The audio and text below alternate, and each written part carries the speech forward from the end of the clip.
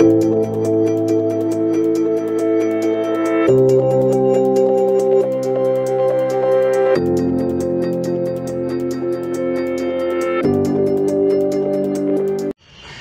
is a 22 inches LCD TV. I am switching it on. So after power on, this LEDs keep on blinking. This is the problem and nothing is there on the display. This is blank display. This is the problem. I'll explain you how to solve this problem.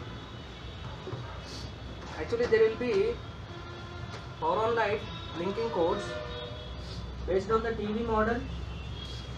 By the blinking codes we can identify the problem. I'll tell you the code, uh, blinking codes in regular classes. I'll explain you each and every section of TV, how to trace out with the multimeter, how to trace out with the CRO oscilloscope,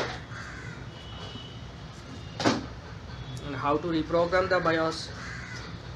And today's class I'll explain you. There is problem on in this, and I'll explain you how to solve this problem.